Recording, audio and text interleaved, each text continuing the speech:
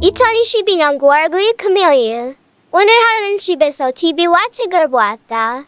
재미있었다. 끝.